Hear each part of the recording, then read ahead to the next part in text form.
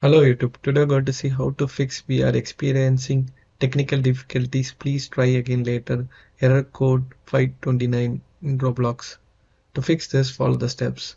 First you have to go to settings from your phone and then you have to go to application settings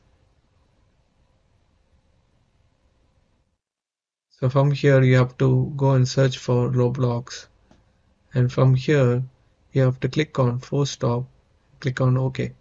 Now you have to go to storage and you also need to clear cache and clear data. So once this is done you have to go back and go to Play Store. From Play Store you have to search for an app called Secure VPN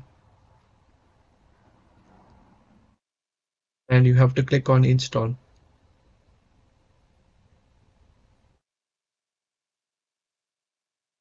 Once the installation is done, you can click on open, accept terms and services, and then you have to click on connect and click on OK.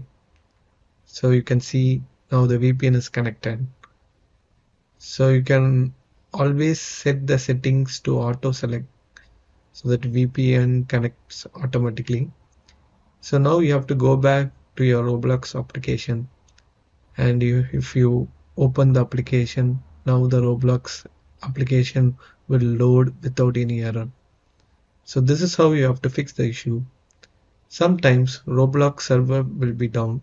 To check you can go to Google and search for Roblox status and you can see this down detector link.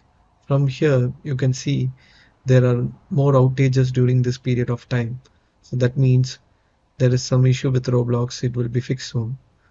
So this is how you have to fix the Roblox issue. Tell me in the comment section below this solution worked for you. Give a like and subscribe to our channel for more videos like this. Thank you.